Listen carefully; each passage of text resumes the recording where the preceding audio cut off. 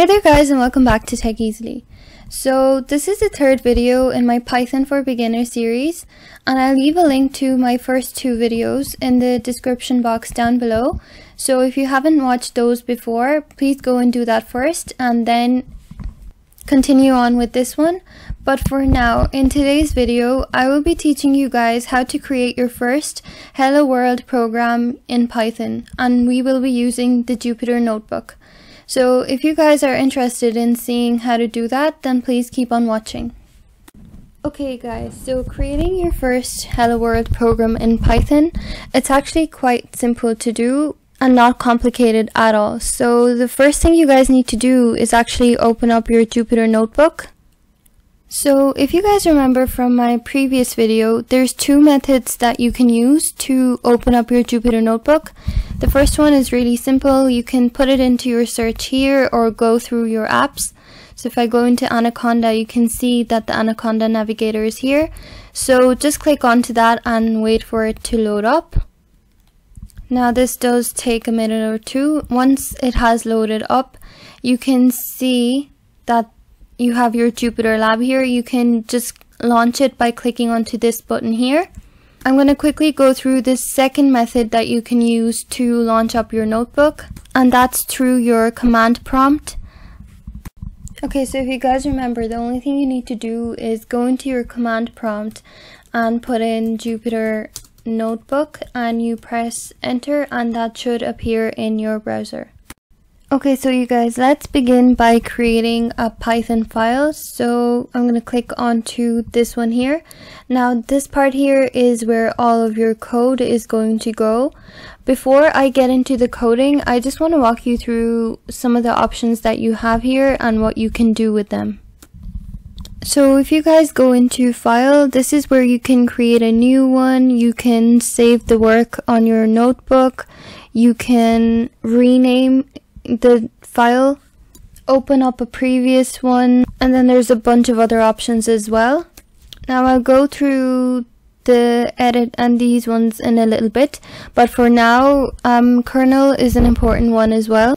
And this is because if your code gets stuck in a loop, you can just restart it from here and you're good to go.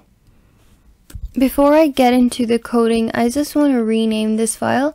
So you can do it from here as well. You want to right click on the name of your file, go into rename file, and I'm going to say first program. You guys can call it whatever you want. And I'm just going to save it. Again, I went through this in my last video. The extension of this file type is IPYNB. So I'm just going to rename this. So let's get into the fun part you guys. So printing out the words hello world onto your screen. Again, like I told you guys, Python is a really, really simple programming language. What you're going to need is, I'm going to zoom this in a bit so you guys can see it better. I'm going to write the word print. You're going to open your bracket and close and in between here is where your text is going to go. So inside quotation marks, I'm going to write hello world and then at the end notice that I have a semicolon here. You need that as well. And this is basically going to produce the output of hello world onto our screens. When we run this program it's actually a way for us to test and see if Python is actually working in our systems and if it's actually installed into our machines correctly before we get into running this program, let's just zoom out a little bit and I'll go through some of the options that I left before. So for example, the edit one. So this part here is known as a cell. So what you guys can do is you can undo, redo, you can cut cells, you can copy cells, you can paste them, delete them, select them all, move them up and down. There's a bunch of options that you can you guys can use and they're actually really helpful as well. And then we have options for running. So you can run the selected cell, you can run a cell above or below. There's you can run them all, you can restart and then run them all. There's again a lot of options that you can play around with and experiment. So now you guys, let's get to the really important part of this video. So running your code in Jupyter Lab. So what you guys can do is, if I zoom you guys in, there's like a little play button here. And if you hover over this, it says run the selected cells and advance. So you want to click on this and below it you can see that the words hello world have been printed onto our screens. So we know that our code has worked. Another way you can do this is by pressing, if you press shift and enter at the same time, it will run your code. So you can press this button up here or use shift and enter, but you will get the same output. And this actually indicates that Anaconda and Jupyter Notebook have been successfully installed into our machines and in our future videos we're going to be using uh, the Jupyter Lab again to look into data science with Python now that we have our first Hello World program written in Python.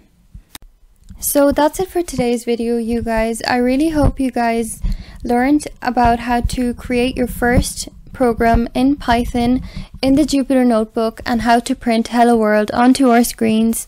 Now that we have the basics out of the way and you guys are familiar with the Jupyter Notebook and how to run your programs inside of it, from future videos I'm going to be teaching you guys all about data science.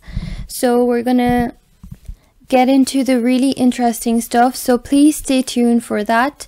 Until we code again, thank you guys so much for watching. Don't forget to subscribe to my channel and leave a comment down below for any recommendations or questions you guys may have and I will get to them as quick as I can. And don't forget to give this video a big thumbs up if you guys enjoyed it.